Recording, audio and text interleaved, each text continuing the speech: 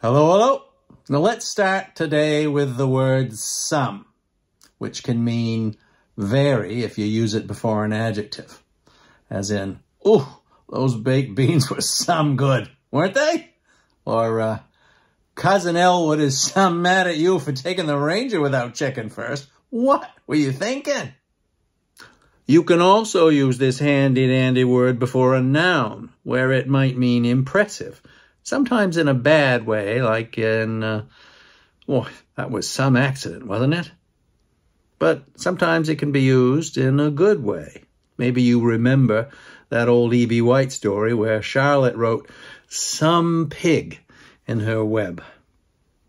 Fun fact, my neighbor growing up was a cook for Mr. E.B. White. And she was some cook. Her name, by the way, Mrs. Cook. You can't make this stuff up, really. Another word you might hear a Mainer use is the word something, which could mean impressive or noteworthy or important. Imagine your neighbor comes over and tells you they sold all of their blueberry rakes to an antique dealer for $60 a piece. $60 a piece. Do the math. That's impressive. So you just might say, well, isn't that something?